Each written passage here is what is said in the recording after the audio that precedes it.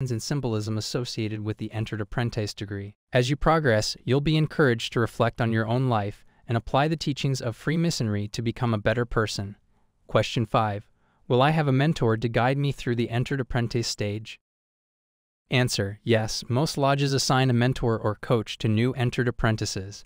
This experienced Mason will help you navigate the early stages of your Masonic journey, answer your questions, and provide guidance and support as you learn and grow within the fraternity. Question 6.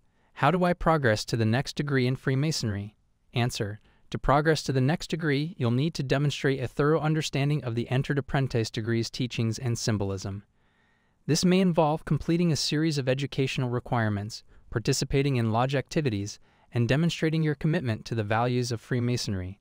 Once you've met these requirements, you'll be eligible to advance to the Fellowcraft degree. Now, as an entered apprentice, it's essential to remember that the journey of self improvement and personal